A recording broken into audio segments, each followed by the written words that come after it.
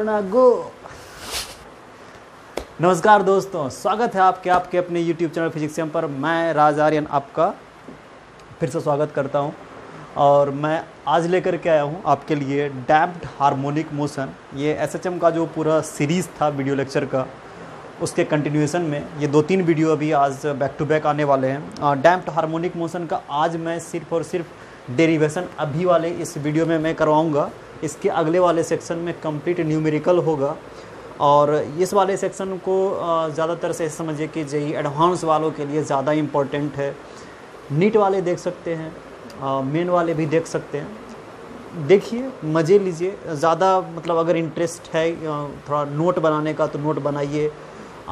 समझने की कोशिश कीजिए कैसे डेरिवेशन किया जा रहा है। और थोड़ा मैथमेटिकल ज़्यादा टॉपिक हो जाएगा ये, ठीक है? मतलब कम्प्लीटली मैथमेटिकल है, क्योंकि मैं पूरा प्रूफ करने वाला हूँ अभी कि मैं कैसे डैम्प्ड हारमोनिक ऑसिलेशन के बारे में बात करूँगा। उसके डिफरेंट डिफरेंट एस्पेक्ट्स पर मैं बात करने वाला हूँ टाइप से बात करने वाला हूँ। तो लेट नहीं करते स्टार्ट करते हैं ओके तो सबसे पहले बात करते हैं कि डैम्प्ड ऑसिलेशन के पहले हमारा एसएचएम कैसे काम करता है। तो एसएचएम के लिए हम लोगों ने मान लेते हैं कि अगर कोई मेरे पास स्प्रिंग ब्लॉक सिस्टम है, एक स्प्रिंग है और एक ब्लॉक है, जिसका मास है एम और यहाँ पर स्प्रिंग कांस्टेंट के दिया हुआ है इसका। और अगर हम इस वाले को बोलते हैं तो मीन पोजिशन और अगर हम बोल दें कि ये पूरा सिस्टम जो है, ये हमारा पूरा सिस्टम वैक्यूम है। किस, क्या यहाँ पर? वैक्यूम है। यानी किसी भी तरह का कोई भी ऑब्स्टेकल प्रेजेंट नहीं है यहाँ पर। तो हम यही कहेंगे कि इस वाले का जो ये वाला बॉडी है, ये वाला बॉडी अपने मीन पोजिशन के अराउंड ये इस तरह से सिस्टम करेगा। और इसका ये ये इसको कहते थे मैक्सिमम एम्पलीट्यूड ए और ये भी एम्पलीट्यूड ए हो जाएगा। और ये कंटिन्यू करते रहेगा इन्फानाइट टाइम तक। इसका टाइम पीरियड क्या रहेगा? To pi root over M upon के ये होता था, याद है? इसका टाइम पीरियड हो जाएगा। और ये इन्फानाइट टाइम तक ये ऐसे ऐसे ऑसिलेट करते रहेगा। इसको हम लोग फ्री ऑसिलेशन कहते हैं। बट ऐसा प्रेजेंट अगर हम लोग अगर देखें कि हमारे नेचर में कुछ इस तरह का सिचुएशन होता नहीं है। ये कंटिन्यू चलेगा नहीं। ऐसे ऐसे करेगा। शुरुआत में तो करेगा बहुत अच्छा ऐसे से, उसके बाद है ना? तो डैम्प कर जाता है, रुक जाता है ये। झूला झूले होंगे, हम लोग देखते थे, एक आदमी है ना, झूला अपने से बिना मतलब ऐसे बैठा हुआ है, किसी बंदे ने उसको खींचा एक साइड से और ऐसे छोड़ दिया। तो छोड़ा तो बस, वो जो पकड़ा पहला बार में ऑसिलेट कर रहा है, उसका टाइम पीरियड वगैरह जो भी है उसका धीरे धीरे करके, है ना? तो ये हो जाएगा उसका। तो ऑसिलेशन क्यों ऐसा, उसका मतलब एम्पलीट्यूड डिक्रीज क्यों करता चला गया? पहला सवाल ये है,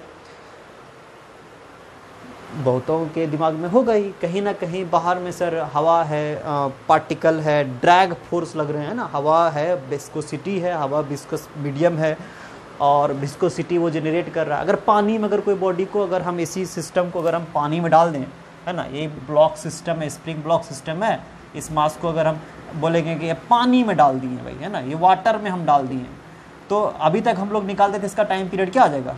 अंडर रूट भाई ये आ जाएगा। नेचुरल जो टाइम पीरियड है नेचुरल फ्रीक्वेंसी यही आएगा। बट हम ये देखेंगे कि थोड़ा देर के बाद इसका एम्पलीट्यूड घटता चला जाएगा क्योंकि वाटर यहाँ पर लगाएगा, इसके ऊपर में ड्रैग फोर्स विस्कस फोर्स लगा देगा यहाँ पर, जो कि एक तरह से इसका फ्रिक्शन का काम करेगा, है ना?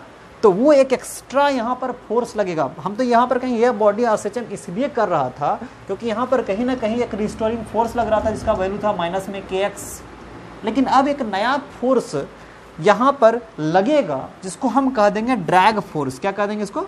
ड्रैग फोर्स जो कि हम लोग जानते हैं स्टॉक लॉ से हम लोग पढ़े हुए थे। स्टोक्स लॉ क्या था? स्टोक्स लॉ क्या था? एफ़ बराबर six pi eta r into v velocity याद है six pi eta r v है ना? ये लगेगा। तो हम इस पूरे कॉन्स्ट इसको हम कांस्टेंट बोल देते हैं। तो इस फोर्स का जो वैल्यू आएगा, वो हम कह सकते हैं माइनस में बी भी होगा। That's a b and b और ये जो पूरा का पूरा सिनेरियो है, हम ये कह सकते हैं कि बी जो डिपेंड कर रहा है विस्कोसिटी पर बॉडी के सेप साइज़ वगैरह पर डिपेंड करेगा। ठीक है?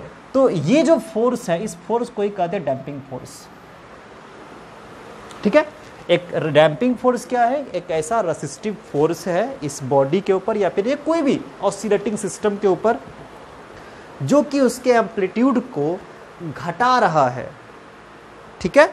अब ये कोई भी हो सकता है। मैंने एक एक एग्जांपल से दिखाया कि भाई ये अभी स्टॉक्स लॉ है ड्रैग फोर्स काम कर रहा है।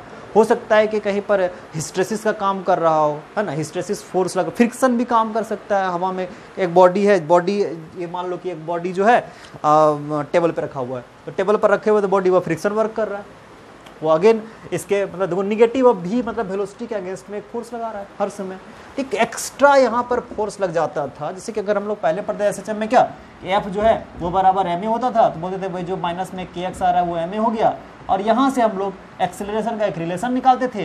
एक्सेलरेशन इक्वल टू क्या आता था? ओमेगा स्क्वायर इंटू एक्स तो ओमेगा स्क्वायर इक्वल टू हो गया यहाँ से के अपॉन एम जिससे हम लोग टाइम पीरियड निकाल लेते थे। लेकिन अब यहाँ पर एक नया फोर्स दिखेगा, जिसको हम कहेंगे ड्रैग फोर्स या फिर डैम्पिंग फोर्स समझ में आया? और इसी के बारे में हम लोग अभी आगे से स्टडी करने वाले हैं। क्लियर हो गया दिमाग? बैठ गया यहाँ तक बात कि ड्रैग फोर्स या डैम्पिंग फोर्स क्या है? एक्सटर्नल ऑब्स्टेकल है किसी भी बॉडी को मूवमेंट से रोकने के लिए। ठीक है? अब चाहो तो कुछ कुछ कॉपी कर सकते हो तो हम इसको इरेज कर रहे हैं। ठीक है?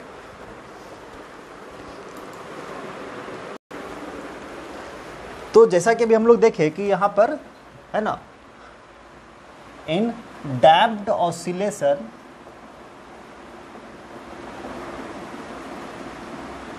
छोटा छोटा हम लिख रहे हैं, थोड़ा कोशिश करना है इसको समझ करके अपने से लिखने का। ठीक है in damped oscillation there is two type of forces acts on the oscillating system. First one जो हम लोग पढ़ते आए कि रिस्टोरिंग फोर्स होता था, याद है? रिस्टोरिंग फोर्स अभी हम बात किए थे रिस्टोरिंग फोर्स एफ़ बराबर माइनस में के एक्स क्या था? एफ़ बराबर माइनस में के एक्स के क्या था? स्प्रिंग कांस्टेंट दूसरा है हमारे यहाँ पर डैम्पिंग फोर्स है ना? तो F जो है यहाँ पर, इसको हम कह सकते हैं F1 होगा ये F2 कह सकते हैं इसको। यहाँ से जगह हम इसको कहेंगे माइनस में बी भी। ये कहाँ से आया फ्रॉम स्टोक्स लॉ है ना? स्टोक्स लॉ से आया।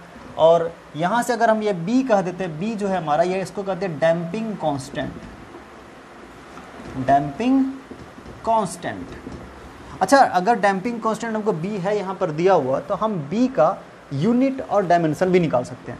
तो बी इक्वल टू हो जाएगा एफ़ अपॉन भी यानी कि न्यूटन पर मीटर इंटू सेकेंड हो जाएगा ना? न्यूटन हो जाएगा फोर्स का और इसका जो मीटर पर सेकेंड ठीक है? तो यहाँ से न्यूटन सेकेंड पर मीटर हो गया। इसको और अगर हम सॉल्व करें तो यहाँ से मिलेगा हमको k g meter per second square newton का होता है ना? फोर्स बराबर एम ए तो mass into acceleration meter per second square into second upon meter meter से मीटर खत्म हो गया सेकेंड सेकेंड खत्म हो गया। तो के जी पर सेकेंड इसका आ गया बी का यूनिट है ना? और इसका डायमेंशन क्या हो जाएगा? डायमेंशन क्या हो जाएगा? देखो के जी का एम नीचे में टी है एम टी माइनस में वन ये हो गया हमारा डैम्पिंग फोर्स का रिलेशन है ना, जो भी आ गया। अब हम यहाँ से यूज़ कर सकते हैं फॉर damped oscillatory system. ठीक है? From Newton's law of motion simple हम जानते हैं कि F बराबर होता है एम ए कितने पढ़े? F equal to m a होता है। तो कितने सारे फोर्स लग रहे हैं? एम एफ़ वन लग रहा है एफ़ टू लग रहा है। और जो इस बॉडी को एक्सेलरेट करवा रहा है। पहले क्या था? सिर्फ़ यही था, जिसको कि हम लोग एम ए लिखते थे। अब ये भी आ गया है नया। ड्रैग फोर्स भी आ गया। हम इसको भी ऐड करना पड़ेगा। तो एफ़ वन हो गया हमारे पास माइनस में के एक्स और ये हो गया माइनस है बी भी इक्वल टू हो गया मास इंटू एक्सलेशन हम एक काम कर सकते हैं, इन सबको उधर भेज देते हैं तो इक्वल टू ज़ीरो हो जाएगा तो हो जाएगा m a plus k x plus b भी इक्वल टू ज़ीरो और हम इसको लिख सकते हैं एम इंटू एक्सेलरेशन क्या लिख सकते हैं? डी स्क्वायर इसको डिफरेंशियल इक्वेशन में हम लिखना चाहते हैं डिफरेंशियल इक्वेशन फॉर्म में। इसको क्या सकते हैं? D square x upon d t का स्क्वायर लिख सकते हैं। पढ़े ना एक्सेलरेशन को डबल डेरिवेटिव ऑफ़ एक्स लिख सकते हैं। और यहाँ से हो गया के के को हम अभी बाद में लिख लेंगे। इसको पहले हम इसको लिख लेते हैं। बी इंटू भी के जगह पे d x upon d t अब प्लस में यहाँ से हो गया k x equal to zero this is your differential equation for damped harmonic motion ये क्या हो गया? Differential equation for damped harmonic oscillation है ना? एकदम सिंपल चीज़ है। यहाँ तक मैं किसी को कोई दिक्कत आ गया होगा तो बताओ भाई। बहुत सिंपल सा, का, सा काम किए हैं कि भाई दो तरह के फोर्स हैं हमारे पास एफ़ वन है और एफ़ टू है। और जो भी दोनों फोर्स है इस बॉडी को मोशन दे रहा है एक्सेलरेट करवा रहा है तो हमने कहा कि भाई दोनों फोर्स एम ए क्रिएट कर रहा होगा। तो हमने एफ़ वन की जगह माइनस में के एक्स लगाया माइनस बी भी लगाया जो कि बोल दिया एम ए माँ ठीक है। तो बस इसको इधर भेज दिए। तो इसको ही उधर भेजे। समझ रहे हो बात को हाँ ठीक है। तो ये माइनस वाला उधर जाएगा, प्लस में ये माइनस वाला उधर, प्लस में हो जाएगा। तो एम ए एक जगह d square x by d t square पढ़े नहीं पढ़े हुए, आए नहीं सत्यान से, छी छी छी छी छी छी। A equal to d b upon d t और भी इक्वल टू होता था, याद है? D x upon d t तो भी मतलब एक्स का देखो, दो बार डिफ्रेंसिएशन हो गया ना? भी को एक बार डिफरेंशिएट किया और एक्स को एक बार डिफरेंशिएट एक्स को दो बार डिफरेंशिएट किया। तो double derivative of x with respect to time और फिर यहाँ पर भी था, वही d x by d t लिख दिए सिर्फ़। तो डिफरेंशियल इक्वेशन कुछ ऐसा बनता है, इसके भी एक इक्वेशन सॉल्यूशन आएँगे। हम उसी के ऊपर बात करेंगे। चलो तो जल्दी कॉपी करो, फटाफट, है ना? तो पटाक से। तो अभी तक हम लोग क्या क्या सीखे थे?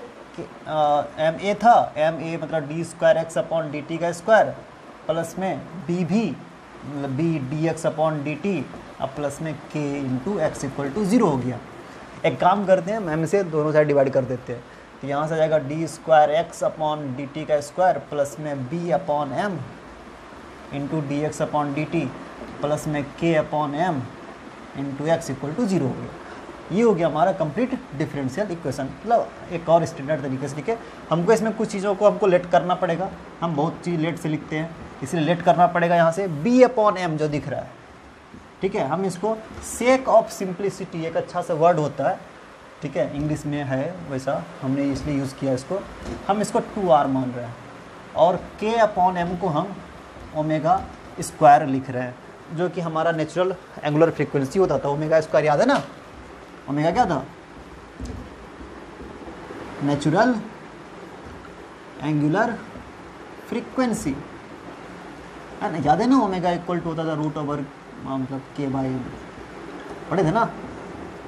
तो वही वाला हमें यहाँ से यूज़ किया हुआ है। इज़ इट ओके तो ये हम इसको अब यूज़ कर सकते हैं यहाँ से। तो putting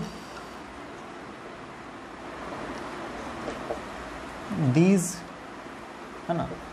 In equation putting this in equation number one है ना? इक्वेशन वन तो क्या हो जाएगा यहाँ से?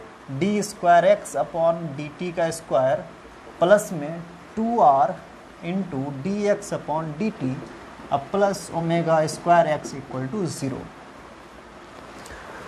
ठीक है? ये हमारा डिफरेंशियल इक्वेशन जो बन रहा है, हम जो जो भाई ट्वेल्थ पास कर चुके हैं ट्वेल्थ के हो स्टूडेंट ठीक है? उसको कुछ कुछ समझ में आएगा। और जो एलेवंथ के हो, उसको कुछ भी समझ में यहाँ से नहीं आएगा। ट्राई करो समझने का, इसलिए मैंने कहा कि मतलब एकदम पूरा एडवांस लेवल का चीज़ है। ये एक डिफरेंशियल इक्वेशन है, ठीक है? और इसके इक्वेशन के सॉल्यूशन होते हैं, ठीक है? तो हमने जब हम इसको सॉल्व किए, है ना? जब हमने इस डिफरेंशियल इक्वेशन को सॉल्व किया तो हमको जो एक वैल्यू मिला, हमने मान लिया, या फिर हम ये कह सकते हैं कि हमने मान लिया कि इसका एक सॉल्यूशन है। क्या सॉल्यूशन है? है ना? तो let the solution of this differential equation is x equal to a e raise to the power alpha into t हमने मान लिया कि कोई एक एक्सपोनेंशियल फ़ंक्शन है, क्योंकि यहाँ पर हर समय वेलोसिटी के कारण डैम्पिंग हो रहा है। तो हमने मान लिया कोई एक्सपोनेंशियल फ़ंक्शन है, और उसे कुछ ना कुछ आर्ग्यूमेंट मतलब कि शुरुआत में है वैल्यू इसको मैक्सिमम वैल्यू कह सकते ए है यहाँ पर रखा हुआ, है ना? ऐसा कुछ है, हमने एज्यूम कर लिया। यानी कि अगर हम इसको, इसमें पुट करेंगे, यानी उसको डिफ्रेंशिएट करके यहाँ पर रखेंगे, और डबल डिफ्रेंशिएट करके यहाँ पर रखेंगे तो इस पूरा का पूरा वैल्यू का जो वैल्यू है, वो ज़ीरो होना चाहिए। अगर हम कहते हैं ये इक्वेशन इसको, इसका सॉल्यूशन है तो इस, ये चीज़ इसको सेटिस्फाई करना चाहिए। सिंपल है। इतना तो मोटा मोटी बात समझ सकते हो ना कि भाई भाई ये चीज़ नाइन्थ में सी कहते ना एक क्वांटिटी के क्वेश्चन दिया हुआ है। कहते भाई एक्स का वैल्यू दो पर देखो कि ये आ, इसका सोल्यूशन है कि नहीं है। तो दो पुट करते थे देखते हैं हाँ ज़ीरो आया तो ठीक है नहीं आया तो गया। तो ऐसे हम मान रहे हैं कि ये जो है ये जो इक्वेशन हम लिखे हैं ये इसका सोल्यूशन है।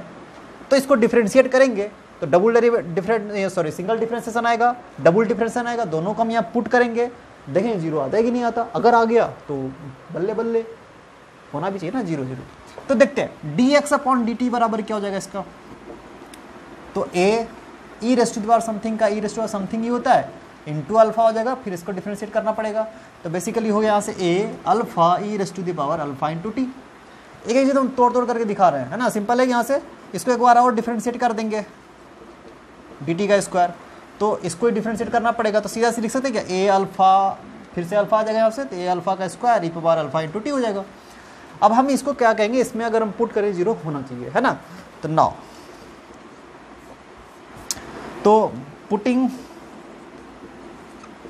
these values in equation two कह सकते हैं, ठीक है? इक्वेशन नंबर टू तो क्या क्या हो जाएगा यहाँ से? डी स्क्वायर एक्स ये लिख सकते हैं हम, यहाँ से क्या लिखेंगे? A alpha square e raise to the power alpha into t है ना?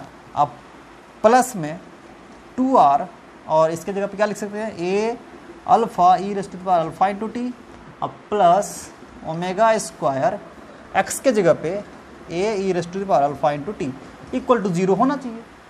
अगर ये ज़ीरो हो रहा है तो कुछ कुछ चीज़ें कॉमन भी आ रही होगी यहाँ से देखो, साफ़ साफ़ दिख रहा हो। A e raised to the power alpha into t common आ रहा है। देखो, है ना, हर जगह। तो यहाँ से हमको इक्वेशन मिल रहा है अल्फ़ा स्क्वायर प्लस में टू आर इंटू अल्फ़ा अब प्लस में omega square equal to zero आ रहा है। अब अगर हम इसको मान लिए कि ये ये तो ये चीज़ है हमारा, है ना? ये देखो a e power alpha into t ये तो है हमारा एक्स है और ये तो ज़ीरो हो नहीं सकता क्योंकि अगर एक्स ही ज़ीरो हो जाएगा तो डिप्रेशन तो वगैरह बेकार है बात। तो ये ज़ीरो नहीं हो सकता, यानी कि यही चीज़ ज़ीरो हो सकता है है ना? क्योंकि ये देखो क्वांटिटी की क्वेश्चन बन भी रहा है अल्फ़ा में। तो हम ये कह सकते हैं, है ना? Here a e raised to alpha into t can't be zero ठीक है? हैंस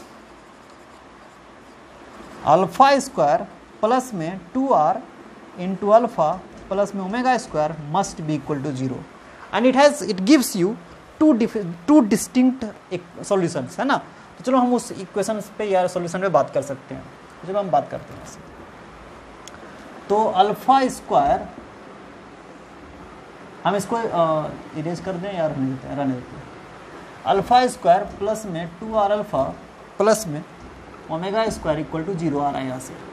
तो अल्फ़ा का वैल्यू क्या क्या हो जाएगा? है ना, याद है वो पढ़े थे x equal to minus b plus minus root over b square minus में four a c upon two a पढ़े हुए हैं। तो चलो उसी से देख सकते हैं, यहाँ अल्फ़ा इक्वल टू क्या माइनस में two r plus minus root over b square, यानी कि यही हो जाएगा।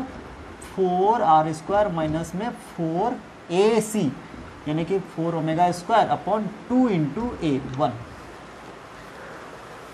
Four common आ रहा है, और टू कट जाएगा। है ना? तो अल्फ़ा का वैल्यू क्या क्या आ रहा है? यहाँ पर ये वाला हिस्सा में कुछ नहीं दिख रहा होगा, इसलिए हम इसको छोड़ दें। ठीक है? अल्फ़ा इक्वल टू आ जाएगा यहाँ से। टू कट जाएगा यहाँ से है ना? अगर फोर कॉमन आ जाएगा, उसको हम रूट से बाहर निकाल लेंगे तो टू तो खत्म हो जाएगा। तो ये खत्म हो गया तो हमारे पास क्या हो जाएगा? माइनस में r plus minus root over r square minus में ओमेगा स्क्वायर। यानी कि अल्फ़ा के दो वैल्यूज़ आ रहे हैं। तो अल्फ़ा वन का वैल्यू भी आ रहा है। माइनस में r plus root over r square minus omega square और अल्फ़ा टू का वैल्यू भी आ रहा है। माइनस में r minus root over r square minus omega square. यानी कि अल्फ़ा के दो इक्वेशन आ रहे हैं। इसका मतलब यही है कि जो अल्फ़ा है, इसके दो इक्वेशन आ रहे हैं, दो वैल्यू आ रहे हैं हमारे पास। तो एक्स भी दो अल्फ़ा के हिसाब से डिपेंड कर रहा होगा। फिर समझना है मेरे बात को। अल्फ़ा के दो वैल्यू आ रहे हैं तो एक्स भी कहीं ना कहीं हमारा एक्स भी हमारा कहीं ना कहीं अल्फ़ा के हिसाब से दो इक्वेशंस पे डिपेंड कर रहा होगा। तो हम उसको लिख रहे हैं यहाँ से, है ना? लेट एक्स इक्वल टू है ना? A one e raise to the power alpha one t मतलब यहाँ पर ए था, हमने यहाँ पर ए वन लिख दिया। बाद में हमें सबको निकालना पड़ेगा उनको। A two e raise to alpha two into t मतलब दो अल्फ़ा है, इसलिए हमने उसके हिसाब से दो एक्स लिख दिया। दोनों का समेसन ही हमारा यहाँ पर एक्स आ रहा होगा। तो चलो हम यहाँ पर से वेयर पहले एक चीज़ लिख लेते हैं। Where a one and a two are constant है ना? ये एक ऑर्बिटरी कांस्टेंट है।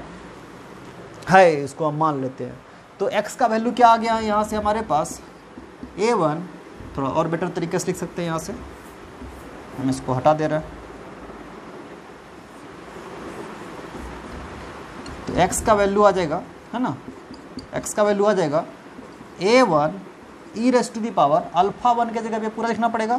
क्या क्या लिखना पड़ेगा? देखो तो माइनस में r plus root over r square minus omega square into t plus a two e raise to power minus में r minus root over r square minus में omega square into t this is your solution for this complete differential equation ठीक है? ये इस differential equation का solution रहा। लेकिन इसमें अब हम आ, को ये अभी तक नहीं पता है कि एक्स में ए वन और ए टू में क्या क्या रिलेशन हो सकता है और even r one r two r square minus omega square के ऊपर भी बात बैठेगा यहाँ पर क्योंकि इसके वैल्यू भी अगर हम बोल दें कि ये पॉजिटिव है ज़ीरो है निगेटिव है पढ़े तो नहीं है? अंडर रूट का वैल्यू है। ये तीनों डेटा ले सकता है ग्रेटर भी ले सकता है ज़ीरो भी ले सकता है और नेगेटिव भी ले सकता है। तो उसके तीन वैल्यूज़ भी आएँगे जिसके ऊपर भी हमको स्टडी करना है। ठीक है, पहले यहाँ तक तो कॉपी करो, ठीक है। फिर से देख लेते क्या क्या हमने किया यहाँ पर। जो डिफरेंशियल इक्वेशन हमने लिखा था अभी, है ना, ये एम ए प्लस में बी भी प्लस में के एक्स इक्वल टू ज़ीरो हो गया। ए के जगह पर d square x by d t और एम से हम सिर्फ़ डिवाइड किया यहाँ पर। और ये जो चीज़ है, हमने बी बाई एम को हमने मान लिया टू आर, ये सेक ऑफ़ सिंप्लिसिटी के, देखो, कितना कचरा और होते जा रहा है। अगर हम बी बाई एम ये डिवाइड डिवाइड वाला टर्म लेंगे तो और कितना तबाही तबाही टाइप का क्वेश्चन आएगा। इसलिए बस सिंप्लिसिटी करने के लिए। इवन आप बोलोगे टू आर का ही लिए तो देखो टू अगर ले लेता तो यहाँ से फोर कॉमन नहीं आता। बस इसीलिए, और कुछ नहीं। बाद में हम सबको हटा ही लेंगे। ये सब आर आर तो आ ही रहा है ना। ये सबको बस हटाना ही यहाँ से। बी बाई टू हम पुट कर लेंगे बाद में जाकर। कर लेंगे, टेंशन नहीं लेना है सब चीज़ के लिए। तो हमने इसको मान लिया ये टू आर इसको हमने मान लिया ओमेगा स्क्वायर और हमने यहाँ से पुट कर लिया है सबको। आई इसको पुट करके हमने माना कि एक्स जो है ए ईर्सो अल्फ़ा इंटू टी इसका सोल्यूशन है। तो हमने इसको डिफ्रेंशिएट किया, इसका डबल डिफ्रेंशिएट किया, और इसके जो जो वैल्यूज़ आए, हमने इसमें पुट किया। बोले कि अगर तुम बोल रहे हो कि तुम सॉल्यूशन हो तो तुम्हारा ये सारा वैल्यू भी इसको सेटिस्फाई करना चाहिए। हमने जब सेटिस्फाई करवाया तो हमको अल्फ़ा के दो वैल्यू मिल गए, और उसके हिसाब से हमको एक्स के भी एक लंबे चौड़े इक्वेशन अब हमको क्लियरली दिख रहे हैं। जिसमें दो तीन चीज़ें अभी आएँगी। एक तो ये मामला फंसा हुआ है, ठीक है? समझ में आ गया? कॉपी करो। देखते अगला पार्ट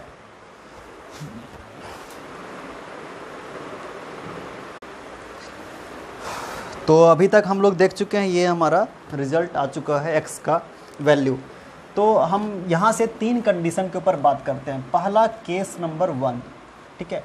धीरे धीरे करके भी रिवील कर, करेंगे, तीन हिस्से में बात करेंगे। पहला हिस्सा हम मान ले रहे हैं कि ये जो वैल्यू है है ना? आर स्क्वायर जो है, यहाँ बड़ा है अगर ओमेगा स्क्वायर से। पहला कंडीशन हम मान रहे हैं। इफ़ ठीक है, अगर आर स्क्वायर ओमेगा स्क्वायर के बड़ा है तो इसका मतलब हो गया, इसी को बोलते हैं ओवर डैम्पिंग और हैवी डैम्पिंग कंडीशन। एकदम समझ में आना चाहिए ये बात बात। अगर हम बोल रहे हैं कि आर स्क्वायर ओमेगा स्क्वायर से बड़ा है तो और हम लोग याद करो, अभी हम लोग सीखे थे यहाँ पर से बी अपॉन एम को हम माने थे टू आर है ना? तो आर का वैल्यू क्या हो गया? बी अपॉन टू एम और ओमेगा स्क्वायर को हम माने थे के अपॉन एम माने थे ना? तो चलो यहाँ से पुट कर सकते हैं। तो b square sorry r square के जगह क्या पुट कर लेंगे? तो b square upon four m बड़ा हो जाएगा के अपॉन एम से सॉरी स्क्वायर से, और तो बी स्क्वायर बड़ा हो जाएगा फोर एम के से।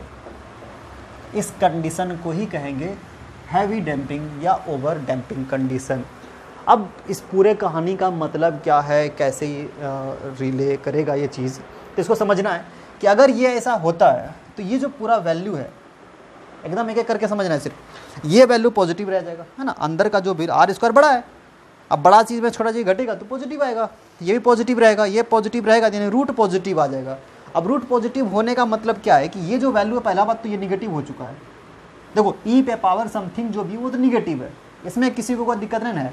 ये भी निगेटिव और ये भी निगेटिव है। अब इस पे देखते हैं। ये माइनस में आर ऑलरेडी है। क्या इसका वैल्यू ये वैल्यू निगेटिव है क्या? देखो तो। आर स्क्वायर में ओमेगा स्क्वायर घट रहा है। तो ये जो वैल्यू आएगा, है ना, ये जो पूरा वैल्यू आएगा रूट ओवर है ना, हम ये कह सकते हैं, इस कहानी से root over r square minus में omega square lesser than r आ जाएगा हर समय क्योंकि इसमें आर स्क्वायर में ओमेगा स्क्वायर घट ही रहा है। तो कुछ भी वैल्यू आएगा, वो हर समय आर से छोटा ही आएगा, क्योंकि आर स्क्वायर तो कभी पहुँच नहीं पाएगा ये। तो उसका रूट तो हर समय आर छोटा ही आ जाएगा। अगर ये आर छोटा हो जाएगा तो ये तो वैल्यू कभी भी हर समय, कभी भी पॉजिटिव हो नहीं सकता ज़ीरो भी नहीं हो सकता। ये सिर्फ़ निगेटिव होगा। तो यानी कि ये भी निगेटिव है और ये भी निगेटिव है। इसका मतलब क्या हुआ कि इस पूरे कहानी में कि एक्स जो है एक्स में एक्सपोनेंशियल का जो पावर आ रहा है, वो हर समय निगेटिव है। एक्स में जो एक्सपोनेंशियल का पावर है, वो हर समय निगेटिव है। एक्स में जो एक्सपोनेंशियल का पावर है, वो निगेटिव है। इसका मतलब क्या हुआ कि पहले यही समझ लें। इसका मतलब यही हो गया कि the power of exponents are negative इसका मतलब यही हो गया कि x इज़ कंटिन्यूसली डिक्रीजिंग ठीक है? अनटिल गोस टू ज़ीरो ये हर समय x घटते ही चला जाएगा, कुछ इस तरह से। अगर हम हम इस कंडीशन को ऐसे दिखाएँ तो कुछ इस तरह से चलेगा ये टाइम के साथ में। तो शुरुआत मान लेते बॉडी को हमने यहाँ से सिलेक्ट करवाया तो ये घटते घटते घटते ज़ीरो हो जाएगा।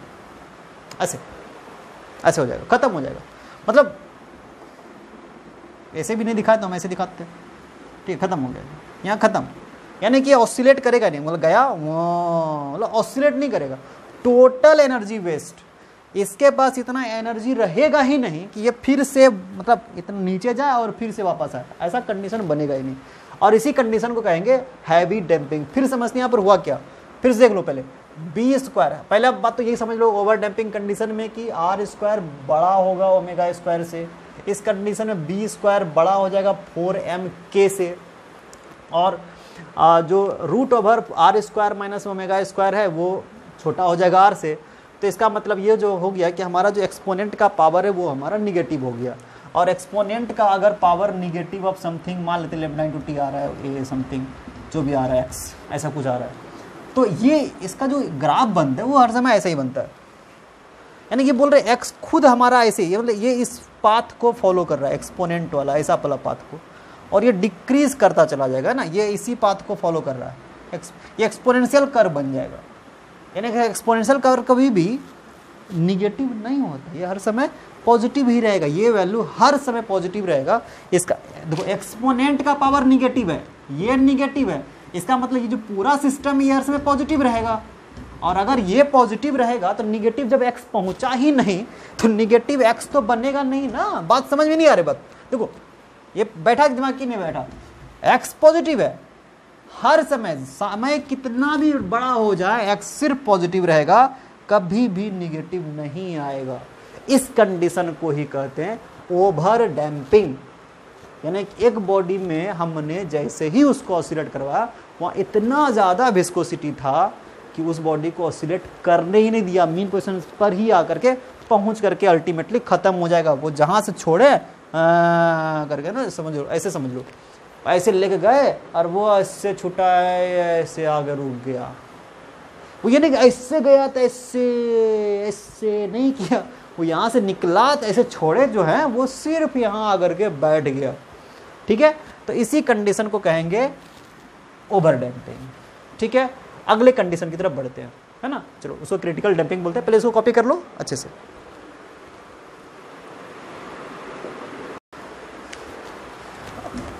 केस नंबर टू के ऊपर बात करते हैं क्रिटिकली डैम्पिंग वाले कंडीशन के ऊपर। क्रिटिकली डैम्पिंग कंडीशन क्या हो जाएगा कि जो अभी था हमारे पास आर स्क्वायर वो बड़ा, बराबर हो जाएगा ओमेगा स्क्वायर के।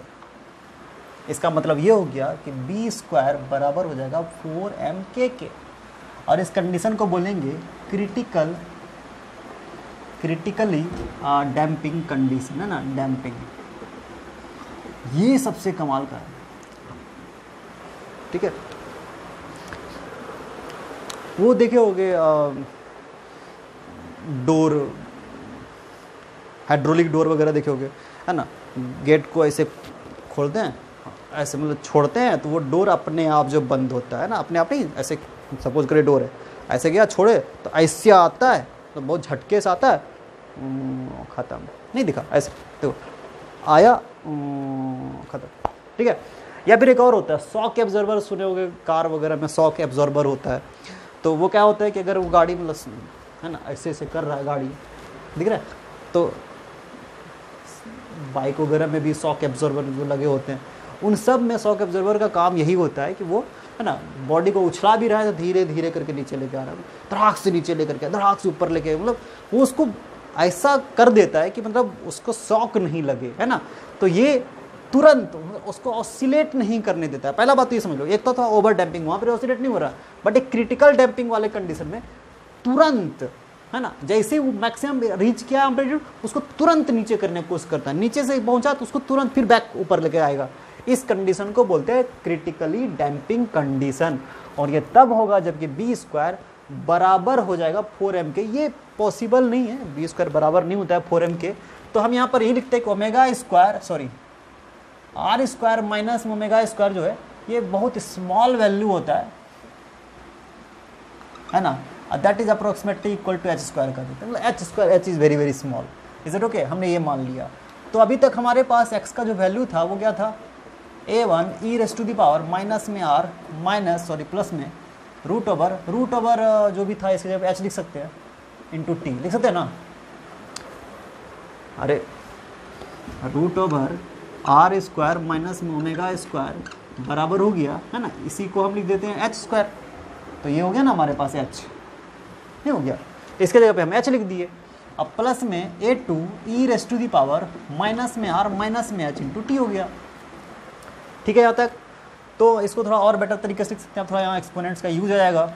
तो हम थोड़ा लिख सकते हैं इसको। माइनस में आर इंटू टी प्लस में एच टी चलो एक स्टेप बढ़ा देते हैं। A two E raise to minus में आर टी माइनस में एच टी हो जाएगा। और इसको थोड़ा और बेहतर तरीके से लिख सकते हैं ई पे पावर ये जो है प्लस होता है तो इंटू हो जाता है ना? A one sorry A one तो ये ई पे पावर एच टी प्लस में ए टू ई पे पावर माइनस में आर टी इन टू ई पे पावर माइनस में एच टी हो जाएगा, है ना? ये ऐसा कुछ आ जाएगा।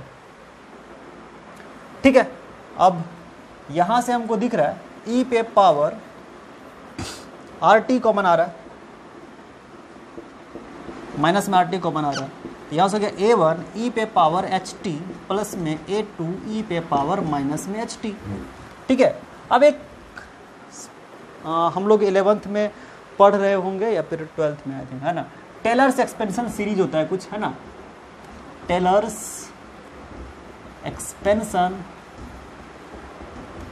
सीरीज़ होते हैं, है ना?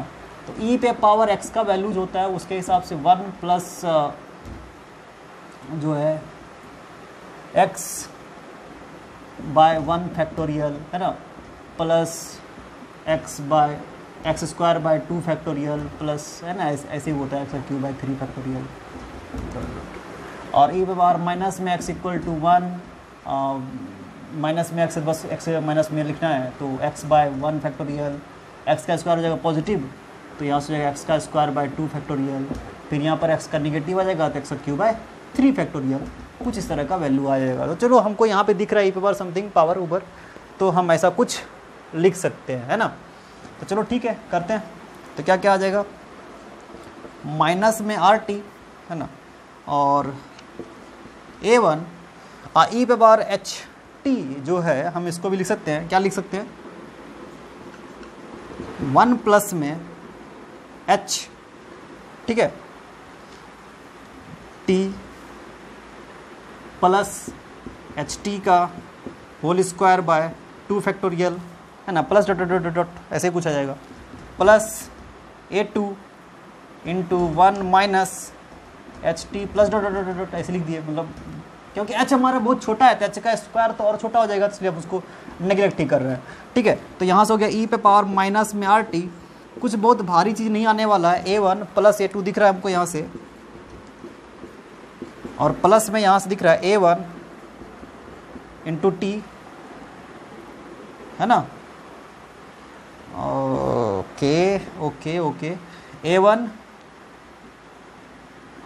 plus A two A one क्या हो गया? A one H T plus sorry minus में ए टू एच टी आ जाएगा, है ना? तो यहाँ से ये रिलेशन आ गया। तो ई e पे पावर माइनस में आर टी और यहाँ से आ गया हमारे पास ए वन प्लस में ए टू प्लस में ए वन एच माइनस में A two H into T तो हम ऐसा कुछ लिख रहे हैं, बस। ज़्यादा कुछ बना नहीं। ये हम इसको लिखते थे ए और ये हो गया बी टी देखो, है ना, कुछ ऐसा बन रहा है। तो हमने मान लिया इसको। ए वन प्लस में इसी के फॉर्मेट में लिखने का बस तरीका हुआ, इसको मान लेते हैं ए और ए वन एच माइनस में ए टू एच को हम मान लेते हैं बी तो जो इक्वेशन बन करके आ रहा है हमारे पास हाँ एक्स का वैल्यू क्या आ रहा है? तो ये हो गया ए प्लस बी टी आ रहा है। ई e पे पावर माइनस में आर इंटू टी तो कुछ इस तरह का इक्वेशन आ रहा है। और जो इसका जो वैल्यू है, ये टाइम का डिपेंडेंट है और टाइम बढ़ेगा तो ये वैल्यू और रैपिडली डिक्रीज करेगा। इसी के लिए इसका नाम है क्रिटिकली डैम्पिंग और अगर हम इसको देखें, इस पूरे पिक्चर में, ये फिर से देखो, ये निगेटिव है, ये निगेटिव है पावर निगेटिव सॉरी ये नहीं निगेटिव नहीं, ये पावर निगेटिव है तो ये ऑलवेज पॉजिटिव रहेगा। ये भी पॉजिटिव है पॉजिटिव कॉन्स्टेंट था, ये भी पॉजिटिव कॉन्स्टेंट था टाइम तो पॉजिटिव रहेगा, यानी complete X is always positive again over damping condition ये भी है। अगर ओवर डैम्पिंग कंडीशन है तो ये फिर से उसी तरह से डैम्प करेगा। और ये लेकिन उससे तेज़ी से डैम्प करेगा, है ना? तेज़ी से डैम्प करेगा। इसलिए इसका नाम है critically damping over damping condition क्या हो जाएगा? ये जाएगा ऐसे, है ना? तो ये ओवर डैम्पिंग कंडीशन हुआ। ये वो क्रिटिकली डैम्पिंग इसका तुरंत एनर्जी स्टाक से नीचे नीचे आ जाएगा, है ना? इसलिए इसको बोलते हैं क्रिटिकली डैम्पिंग कंडीशन ठीक है? ये हो गया हमारा पूरा का पूरा कंडीशन एक्स और टी के बीच का रिलेशन। समझ में आया? इसका यूज़ कहाँ कहाँ होता है? शॉक, एब्जॉर्बर इन कार पहला। और दूसरा नंबर में हो गया। दूसरा चीज़ कहाँ हो जाएगा? अरे, अभी तो बताए डोर में, है ना? Hydraulic door. हाइड्रोलिक? डोर में ये इसका रिलेशन यूज़ होता है। तो ये एक कंडीशन बन गया। हम बस देखो ये पूरा का पूरा रिलेशन में कुछ नहीं किए हैं। थोड़ा ज़्यादा मैथमेटिक्स हम पहले बोल दिए थे, मैथमेटिक्स के लग रहे हैं यूज़। तो देखो कैसे कैसे यूजेज आ रहे हैं, कैसे कैसे हम लोगों ने रिलेशन को बस इस्टेब्लिश किया बस देखने का तरीका भाई ऐसा कुछ बन रहा है। तो ठीक है, उससे हमने कुछ ग्राफ देख लिया। ठीक है, चलो ठीक है, अगला कंडीशन थर्ड कंडीशन देखते हैं, जो हमारे लिए सबसे इंपॉर्टेंट है, जो हमारे सिलेबस में है। ये सब सिलेबस में नहीं था। अब तीसरा वाला हिस्सा सिलेबस में है, इसलिए बने रहना है, भागना नहीं।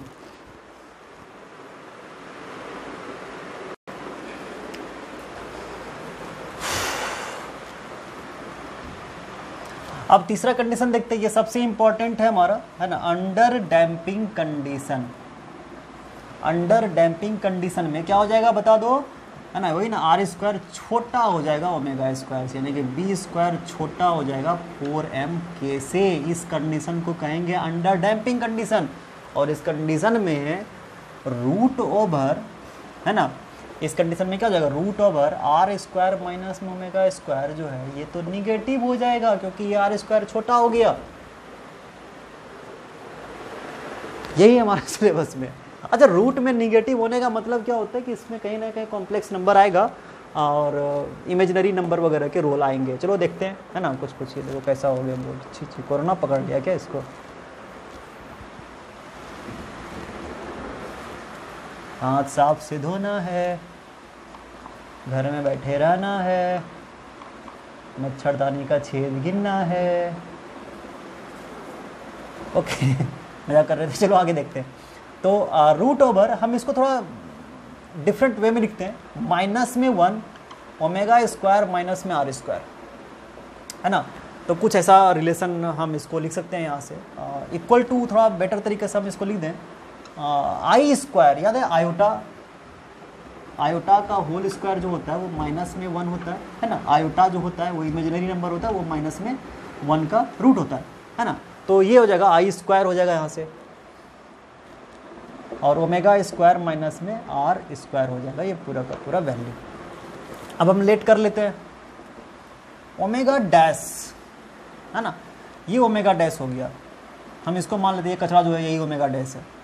तो बेसिकली हो गया यहाँ से ओमेगा स्क्वायर माइनस में आर स्क्वायर हम इसको ओमेगा डैश मान ले रहे हैं.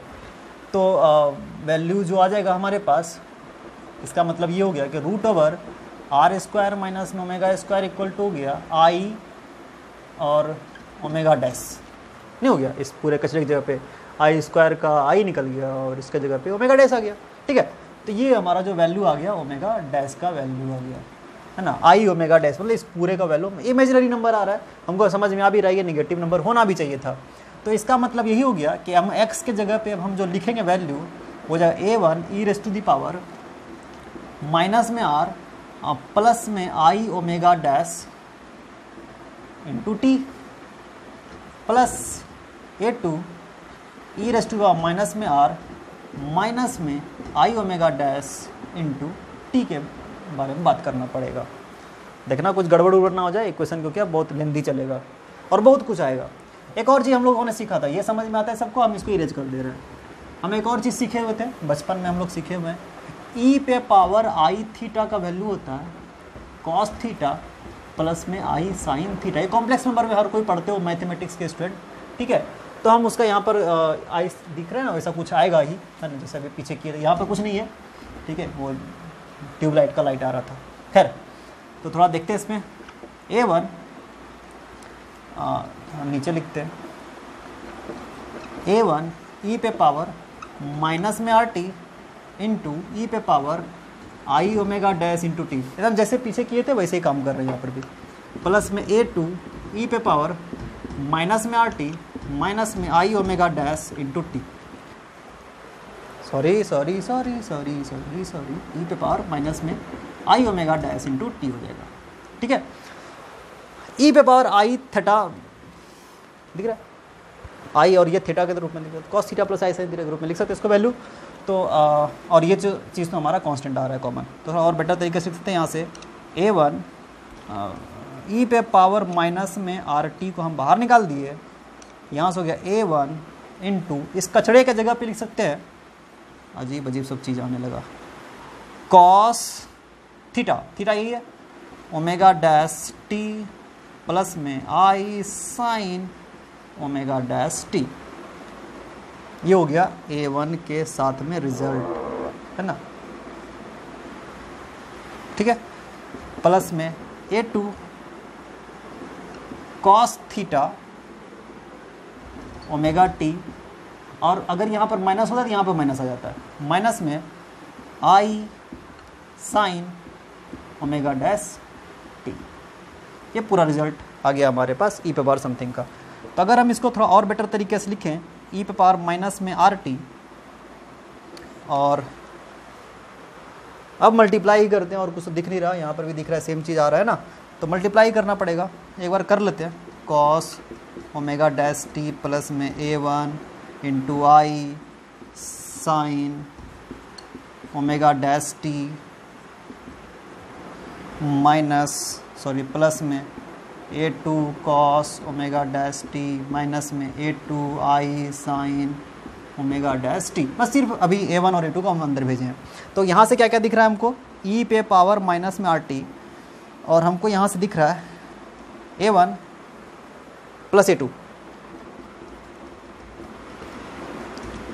cos omega dash T plus I sine omega T दिख रहा है ना कॉमन तो यहाँ से ए वन माइनस में A two I sine omega dash T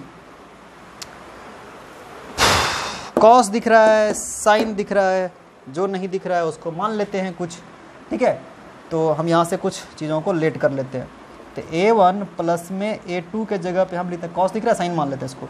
sign five मान लेते हैं और इस पूरे कचड़े को मान लेते हैं।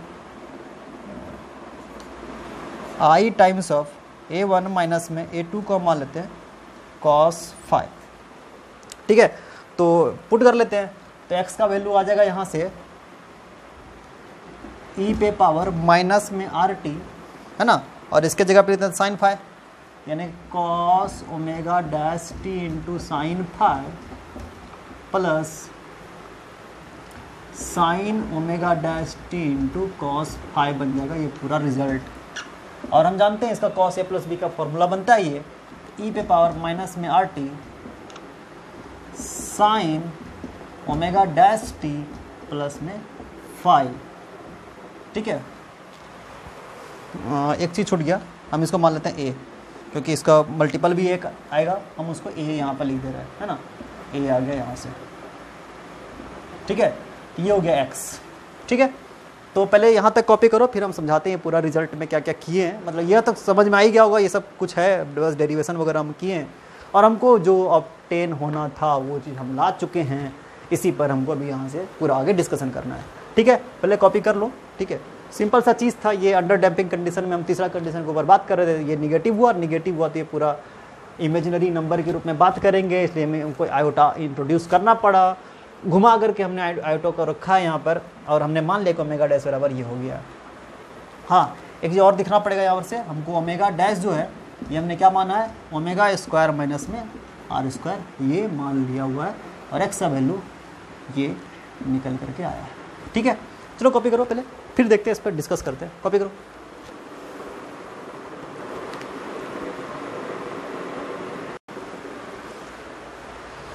तो x का वैल्यू हम लोग ये ला चुके हैं। हम इसको थोड़ा और बेटर तरीके से लिख सकते हैं। X इक्वल टू लिख सकते हैं। ये जो a है, ये मैक्सिमम एम्पलीट्यूड है। A naught E raise to the power minus में R T sine omega dash T plus में फाइव ये एक इक्वेशन तो बन रहा है एक्स का। हम इसको इरेज कर दे रहे हैं यहाँ से। और एक और चीज़ हमने निकाला है ओमेगा डैश ओमेगा डैश का वैल्यू हो चुका है ओमेगा स्क्वायर माइनस में आर स्क्वायर हम अगर पुट करें इसको थोड़ा दो तीन चीज़ों का अच्छा एक चीज़ और हम लोगों ने क्या क्या सीखा था? बी अपॉन एम को हमने माना था टू आर और ओमेगा डैश स्क्वायर बराबर के अपॉन एम हमने ये माना हुआ था। अगर हम ये पुट उट करें तो हमको ओमेगा डैश का वैल्यू जो आ जाएगा रूट ओवर ओमेगा स्क्वायर के जगह पे के अपॉन एम दिखेगा माइनस में आर स्क्वायर के जगह पे आर इक्वल टू क्या आ जाएगा? बी अपॉन टू एम है ना? तो बी अपॉन टू एम का होल स्क्वायर दिखेगा। और इसको कहेंगे damping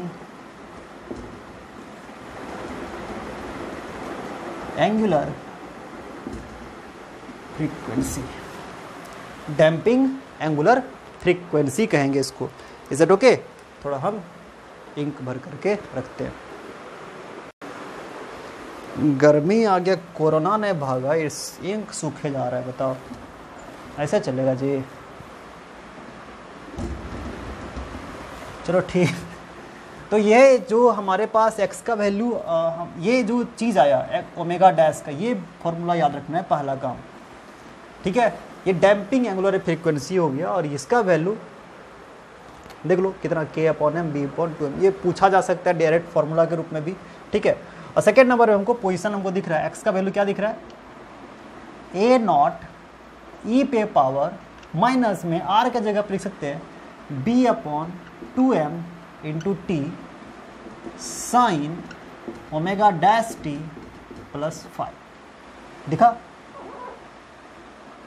ये हो गया हमारा एक्स का वैल्यू और यहाँ पर ये जो चीज़ है, ये देखो, ये एक एस एच एम है, दिख रहा है ना? साफ़ दिख रहा है एस एच एम है इसका फ्रीक्वेंसी भी ओमेगा डैश दिख रहा है यहाँ पर से। और इसका एम्पलीट्यूड है ये, और एम्पलीट्यूड खुद टाइम पर डिपेंड कर रहा है और वो एक्सपोनेंशियली घट रहा है।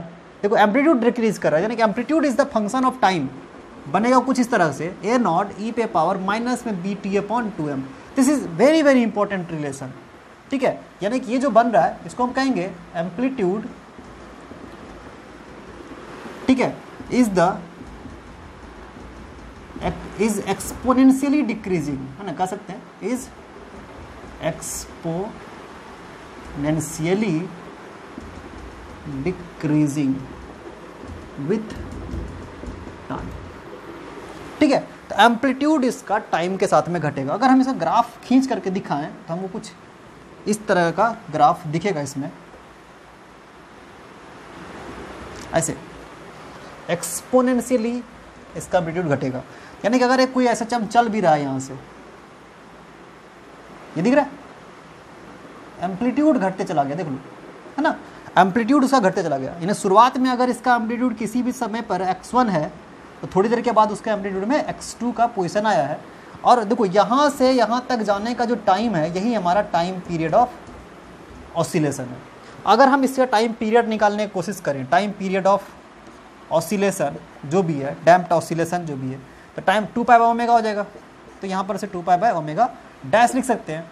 तो two pi by omega dash की जगह पे हम ये लिख देंगे root over k upon m minus में बी अपॉन टू एम का होल स्क्वायर और अगर हम फ्रीक्वेंसी ऑफ़ फ्रीक्वेंसी लिखना चाहें तो फ्रीक्वेंसी क्या हो जाएगा? यही, घुमा देंगे इसको। तो क्या हो जाएगा? One upon two pi root over k upon m minus में बी अपॉन टू एम का होल स्क्वायर ये डैम्प्ड हार्मोनिक ऑसिलेशन का फ्रीक्वेंसी बन गया ये। ठीक है, ये सारे फॉर्मूले हमारे पास बहुत बहुत इंपॉर्टेंट इक्वेशन आ गए हैं हमारे पास, जो जो चीज़ को हमको चाहिए था। ठीक है, और इसका एक्सपोनेंशियली डिक्रीजिंग एम्पलीट्यूड भी दिख रहा है। Amplitude is the function of time तो अगर हम इसको पूरा का पूरा कहानी में हम एक्स की जगह पे लिखें तो एक्स क्या दिखेगा? Amplitude is the function of time और ई पर power my sorry sorry sorry sorry sine omega dash t plus में फाइ आ गया। और अगर हमको फाइ जानना है, याद करो, अभी पीछे फाइ भी हम बताए थे। फाइ क्या था? तो टेन फाइ बराबर हम लिख सकते हैं ए वन प्लस में a two upon a one minus में a two times of iota है ना? ये ना था दिस वो tan phi a by a sine phi a cos phi को डिवाइड कर लोगे तो यहाँ से टेन फाइव ही दिख जाएगा हमको। इज़ इट ओके समझ में आया पूरा कहानी में? ये पूरा अरे कुछ जगह बचा कि नहीं नहीं बचा कहीं पर लिखने के लिए। अभी बहुत कुछ है लिखने के लिए। ठीक है मत सोचना ही ख़त्म हो गया। तो ये आ, पहले तो ये पूरा का पूरा फार्मूला चार्ट हो गया। पूरा मस्त मसाला चाट के साथ में खा जाओ। और उम्मीद करते समझ में आया होगा यहाँ तक। अभी तो दुनियादारी बहुत कुछ है। चलिए लिख कॉपी करो फिर अभी बात करते हैं। तो अभी तक हम लोगों ने देखा कि x का वैल्यू जो आ रहा है वो आ रहा है हमारे पास। A is the function of time sine omega dash t plus में फाइव के रूप में हमको दिख चुका है। है ना? और amplitude is the function of time जो आ रहा है, वो आ रहा है ए नॉट ई पे power minus and b t upon two. देखो, ये फॉर्मूला याद हो जाना चाहिए अब। ठीक है, ये हो गया हमारा एम्पलीट्यूड। एम्पलीट्यूड मतलब वो जो ऑसिलेशन हो रहा है, उसका एम्पलीट्यूड मीन पोजिशन से जो मैक्सिमम डिस्प्लेसमेंट कवर कर रहा है, वो किसी भी टाइम पर इतना होगा। किसी भी टाइम पर इतना इसका एम्पलीट्यूड होगा। यानी कि उसकी काइनेटिक एनर्जी जो भी उसकी एनर्जी होगी, जो सिस्टम के पास एनर्जी है। याद है? एनर्जी ऑफ़ हम लिख सकते हैं उसको? Energy of damped harmonic motion. ये भी लिख सकते हैं। Damped harmonic oscillation. Energy equal to क्या हो जाएगा? एनर्जी भी टाइम पर डिपेंड कर जाएगा, इसका मतलब क्योंकि वो भी तो फ़ंक्शन हो जाएगा। हाफ़ ऑफ़ के ए स्क्वायर होता था। तो k is the function of time का होल स्क्वायर लिखना पड़ेगा यहाँ पर से। तो अगर हम एनर्जी किसी भी इंस्टेंट पर लिखें तो हमको लिखना पड़ेगा हाफ़ के ए स्क्वायर यानी कि ए नॉट ई पे पावर अगर यहाँ पर स्क्वायर कर देंगे तो माइनस में two b t upon two m आ जाएगा। गुड तो एनर्जी का फॉर्मूला आ जाएगा। हम लिख सकते हैं यहाँ से हाफ़ के सॉरी यहाँ पर भी ए नॉट का स्क्वायर ए नॉट का होल स्क्वायर ई पर पावर माइनस में बी टी अपॉन एम बन जाएगा। और हम इसको लिख सकते हैं ई नॉट जो कि मैक्सिमम काइनेटिक एनर्जी था इसका। तो ई बराबर हो जाएगा ई नॉट ई पे पावर माइनस में बी टी अपॉन एम देखो, वहाँ पर टू एम था, यहाँ पर सिर्फ़ एम बना है। ठीक है? तो ये इसका एनर्जी हो गया और ये इसका एम्पलीट्यूड हो गया। किसी भी समय पर energy amplitude amplitude energy energy amplitude okay जो भी आ गया। अब हमको निकालना है दो तीन चीज़। कि एम्पलीट्यूड का आधा होने में कितना समय लगेगा? पहला बात एनर्जी को आधा होने में कितना समय लगेगा? यानी कि हाफ़ लाइफ टाइम निकालना पड़ेगा। ठीक है, हम वो दो चीज़ के बारे में बात करना चाहते हैं। तो पहले हम बात करेंगे half life time of amplitude है ना? तो हेडिंग पहले ये लिख लेना है। तो मतलब इसका मतलब ये हो गया कि अगर हम बोलें कि at t equal to zero time पर जो एम्पलीट्यूड है, वो तो शुरुआत में एनोड है। और किसी टाइम टी इक्वल टू हम कह सकते हैं, ये टी हाफ़ है है ना? ये हाफ़ लाइफ टाइम है। तो हम एम्पलीट्यूड जो लिख देते हैं, वो आधा हो जाएगा। शुरुआत का आधा, क्योंकि एम्पलीट्यूड तो घट रहा है। तो हम ये जानना चाहते हैं, ये टाइम कितना है कि वो एम्पलीट्यूड इसका आधा हो जाएगा। तो चलो हम इसको पुट करते चूँकि हमको पता है कि एम्पलीट्यूड जो है, वो हमको पता है ए नॉट ई पे पावर माइनस में b t upon two m होता है। तो ए के जगह पे हम लिख देते हैं ए नॉट बाई टू देखो कैसे कैसे निकाल रहे हैं हाफ़ लाइफ टाइम और ए नॉट ई पे पावर माइनस में टाइम के जगह पे कैपिटल टी लिख देंगे, जो कि हाफ़ लाइफ टाइम है अपॉन टू एम बन जाएगा। ए नॉट से ए नॉट ख़त्म हो गया। तो यहाँ से जो हमको दिख रहा है हाफ़ दिख रहा है यहाँ से। हाफ़ इक्वल टू ई पे पावर माइनस में b t upon two m दिख रहा है। ये स्मॉल टी नहीं कैपिटल टी हो जाएगा। ठीक है? और कहाँ से कहाँ तक नहीं दिख रहा था? यहाँ से आई थिंक यहाँ तक ही नहीं दिख रहा था। ठीक है? तो टू पे पावर हम माइनस वन लिख सकते हैं। इक्वल टू ई पे पावर माइनस में b t upon two m हो जाएगा। और दोनों साइड हम लॉग ले लेंगे। देखो कैसे कैसे हम हाफ़ लाइफ टाइम निकाल रहे हैं। एक एक स्टेप को देख लो, क्योंकि आगे जो न्यूमेरिकल हम बताएँगे, उसमें ताकि सहूलियत हो जाए। ठीक है? तो टेकिंग लॉग बोथ साइड और एक दो फॉर्मूला याद रखना है कि लॉग बेस ई ई का वैल्यू जो है वो वन होता है और जो भी जिसको बेसिकली लॉन कहते हैं ना लॉन ई भी बोलते हैं इसको, ठीक है? और लॉग एक्स पे पावर अगर एम होता है तो एम लॉग एक्स भी लिखते हैं इसको, ठीक है? ये दो तीन फॉर्मूले हैं, बाकी तो समझ में आ ही रहा है। तो दोनों साइड लॉग लिखेंगे तो क्या लिखेंगे यहाँ पर से? लॉग नहीं लॉन लिख रहे रहे टू पे power minus one equal to l n e पे पावर माइनस में b t upon two m हो जाएगा। अब ये माइनस वन इधर चलाएगा। L n two equal to यहाँ से भी ये पूरा पावर ऊपर सब बाहर आ जाएगा। B t upon two m बाहर आ गया। तो एल एन ई हो जाएगा, है ना? L n e. और एल एन ई का वैल्यू वन होता है तो ये हमारे पास आ गया। माइनस से माइनस भी ख़त्म हो गया। तो एल एन टू दिख रहा है यहाँ से b t upon two m के जगह पे। तो कैपिटल टी का वैल्यू जो आ रहा है, वो साफ़ दिख रहा होगा l n two upon b upon two m और लॉन टी का वैल्यू होता है zero point six nine three ये याद रख लो। अब बी अपॉन टू एम हमको दिखेगा। ये हो गया half life time of amplitude एकदम आसान है। एम्पलीट्यूड के आधा होने का इतना समय लगेगा। तुमको अगर बी पता है एम पता है तो भाई हमको टी पता चल गया कितना समय में आधा हो जाएगा। ठीक है? और कॉपी करो, फिर अभी बहुत सारे आधे करते रहेंगे। ठीक है? कॉपी करते जाओ सिर्फ़। मज़े लो।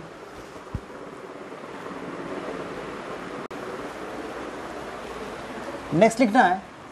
Half life time of energy of oscillator ठीक है, कितने देर के बाद एनर्जी ऑसिलेटर का आधा हो जाएगा।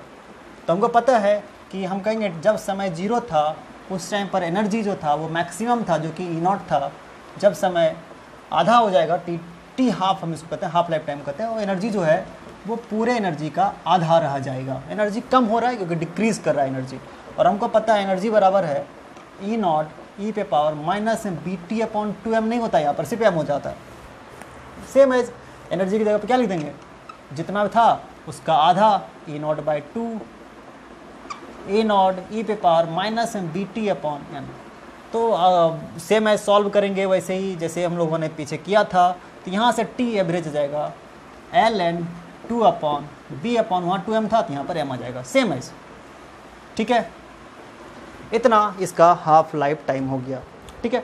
अगर हमको कहेगा वन थर्ड बताओ तो same as e not by three लिख देंगे। तो लॉन थ्री आ जाएगा।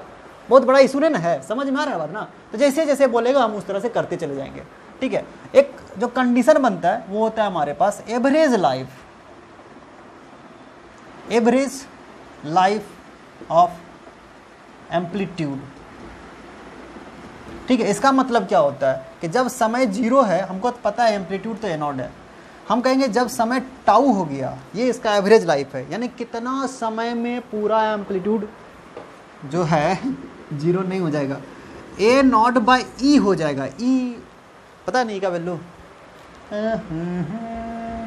two point seven one eight two eight one eight three five है ना ऐसे तो ये इतना रह जाएगा। मतलब आधा नहीं है आधा से ज़्यादा हो गया तो समझ ले ठीक है।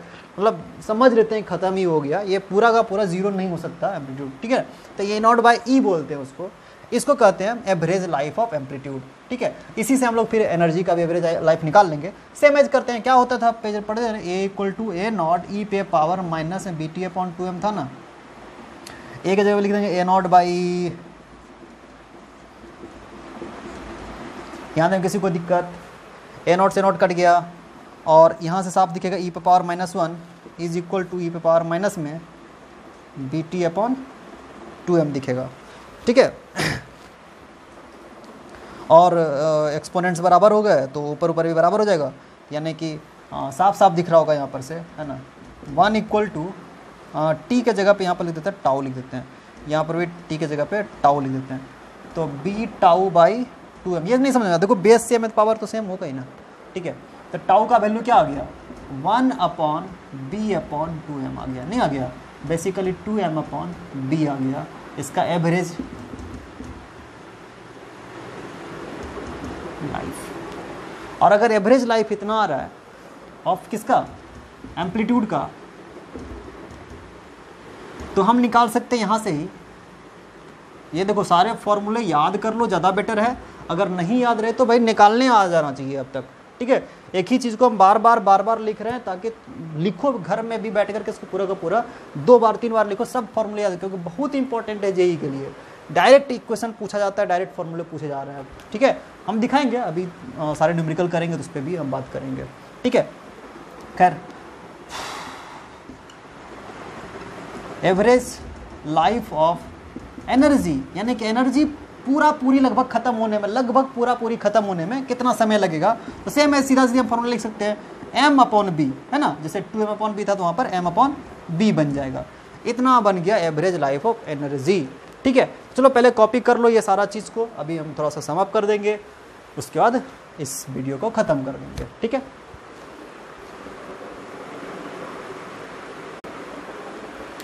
तो अभी तक हम लोगों ने क्या क्या सीखा? सब तो सीख ही लिया, कुछ बचा थोड़े ना। बस यही, थोड़ा सा हम फिर से रिकॉल कर दे रहे हैं कि एक अगर कोई ऑसिलेटर है हमारे पास सपोज़ करते हैं ये हमारा स्प्रिंग मास सिस्टम है, और हम सपोज़ करते हैं एक कंटेनर में हम इसको डाल दिए, जैसे पानी है विस्कस फोर्स यहाँ पर लग रहा है, जिसके कारण से यहाँ पर जो विस्कस फोर्स लग रहा है, वो हमारे पास माइनस बी भी आ रहा है। तो एक्सटर्नल फोर्स तो ये आ गया तो हम ये कहेंगे कि जो यहाँ पर F1 है प्लस में F2 है, ये इसका एमए दे देगा F1 जो है वो के एक्स रिस्टोरिंग फोर्स हो गया बी वी इसका डैम्पिंग फोर्स हो गया और मास इंटू एक्सप्रेशन हो गया। इन सबको अगर हमने यहाँ सॉल्व किया, है ना, इसको हम पूरा डिफरेंशियल इवन डिफरेंशियल इक्वेशन बनता था, इससे क्या बनता था differential equation d square x upon d t का square into m m a हो गया। प्लस में बी भी तो b into d x upon d t plus में के एक्स इक्वल टू ज़ीरो है ना? ये इसका डिफरेंशियल इक्वेशन बन गया। और हम जब इसको सॉल्व किए तो एक्स बराबर क्या मिला हमको? ए नॉट ई पे पावर माइनस में b t upon two m sine omega dash t plus में फाइव बन गया। ठीक है यहाँ तक? और ओमेगा डैश का वैल्यू जो बना, वो था root over k upon m minus में बी अपॉन टू एम का होल स्क्वायर आ गया। जो फ्रीक्वेंसी था, वो था हमारे पास one upon two pi root over k upon m minus में बी अपॉन टू एम का होल स्क्वायर अभी ये हमारा फ्रीक्वेंसी बन गया था। Amplitude is the function of time भी आया था। एम्पलीट्यूड कितना आया था? ए नॉट ई पे पावर माइनस में b t upon two m आ गया था। एनर्जी जो आया था, अभी हम लोग लेके निकाला था पर ई नॉट ई पर पावर माइनस में बी टी अपॉन एम आया था, जो कि हाफ़ ऑफ़ के ए स्क्वायर ई पे power minus b t upon m के बराबर था, इसी को हमने ई नॉट भी लिखा था अभी। इतना सारा ही चीज़ हम लोग अभी हम लोगों ने अभी पढ़ा है।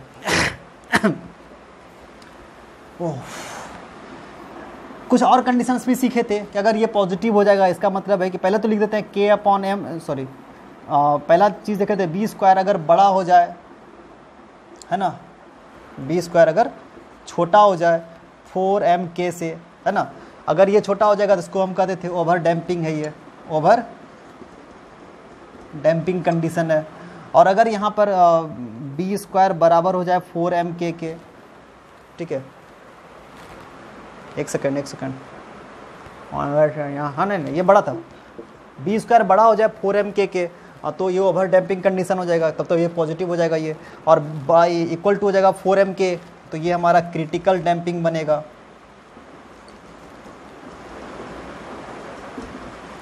और अगर बी स्क्वायर छोटा हो जाए फोर एम के के तो ये हमारा अंडर टक टक टक टक टक। डैम्पिंग कंडीशन कहलाएगा। ठीक है?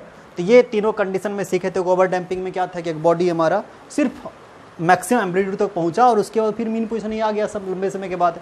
क्रिटिकल डैम्पिंग में तुरंत आ गया, एनर्जी सडनली इंक्रीज कर गया, सारा एनर्जी खत्म हो गया ऑसिलेटर के पास। और तीसरा कंडीशन जो अंडर डैम्पिंग कंडीशन है, जो हमारे सिलेबस का हिस्सा था, इसमें एम्पलीट्यूड है ना धीरे धीरे करके घटता चला गया, घटता चला गया, घटता चला गया। इसके हर एक एस्पेक्ट्स पर बात कर चुके हैं। कि एम्पलीट्यूड कहाँ कहाँ पर, कितने समय पर कैसे डिपेंड करेगा, वो भी निकाल रहे हैं। किस समय पर पोजिशन भी हमको दिख रहा है। ठीक है? अगर हमको इसको डिफ्रेंशिएट करना पड़ेगा तो हम अगर डिफ्रेंशिएट कर सकते हैं, कर लेंगे तो हमको इसका वेलोसिटी मिल जाएगा। उतना कुछ एनालिसिस में नहीं जाएगा। एडवांस में काफ़ी है। ठीक है? किसी भी जगह पर हमको एंगुलर फ्रीक्वेंसी फ्रीक्वेंसी सब चीज़ मिल गया। कुछ कंडीशंस हैं, ये सारे कंडीशंस याद रखने चाहिए। ठीक है? और यही है पूरा का पूरा आज का समरी ठीक है? अब इसके जो अगला सेशन अगला वीडियो आएगा उसमें पूरा का पूरा इस पूरे थ्योरी के ऊपर सिर्फ़ न्यूमेरिकल रहेगा। सारे न्यूमेरिकल हम कोशिश करेंगे कवर करने का ठीक है? और भी कुछ ट्वेल्थ के भी टॉपिक के न्यूमेरिकल होंगे उस पर देखेंगे। तो पहले यहाँ तक कॉपी कर लो ठीक है?